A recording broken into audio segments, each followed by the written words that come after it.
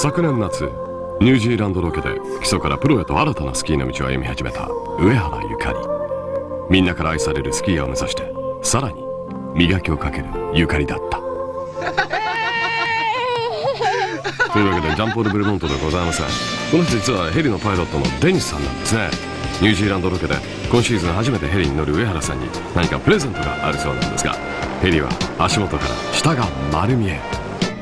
というわけで Enjoy. 安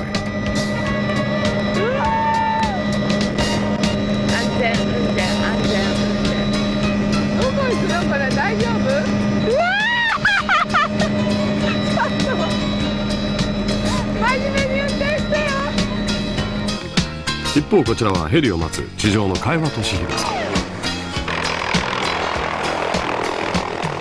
怖いけどどっか期待期待してるみたいなところもあるあるしね。いたずらされるのがまあデニスがしっかり上げてくれれば非常に楽しい。一番怖いのはやっぱりヘリだね。デニスたまに遊ばれるとやっぱりね怖いですね。ヘリは。まあ、こんな風にやるべきところはしっかりやってこんなアクロバット飛行も楽しんでしまう。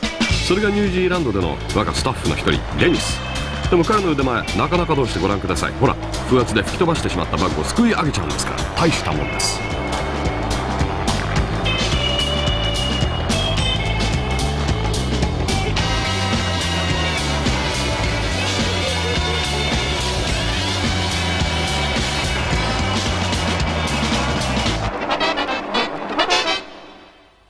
スキーメア94ところでヘリスキー一体食事はどうなっているんでしょうか？素朴な疑問にお答えいたしましょう。天候さえ良ければこうして山頂でランチを取ることができるんですね。なかなかいいです。私もぜひやってみたいですね。一応まああのサンドイッチの中身の、まあ、一応定番と言われているものは一通り揃っております。しかもローストビーフもあってね。なかなかはいしかも深間さんちゃんとフルーツまで用意されてデザート。デザートに。チョコレートケーキにねみかんにキャンディー。テレビをご覧の皆さん。これが一体これは何だと思いますか？これです。でーん。ねえピープスと書いてありますけども。これはですね実は我々の命綱のようなものなんですねまあ我々このようにヘリスキーたくさん来てましてもやはり猿も木から落ちる状態で雪崩に遭うことがあります。そうしますと、えー辺り一面ですね、えーどこに誰がいるのか分からなくなっちゃうんですね。そうした時に、えーこのをつけてますとここから、えー発信音が出てましてどこに埋まったか、えすぐに発見することができるわけですね。このように、まあ、食事を取りながらも、えね、いつやってくるか分からない雪崩に対して、え用心しているということですね。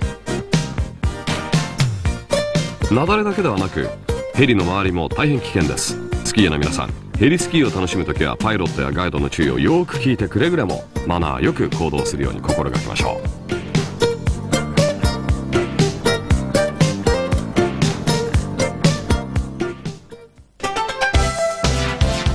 さてヘリスキーが楽しめるエリアとしてこれまではカナダやニュージーランドが中心だったんですがこんなところも見つけました。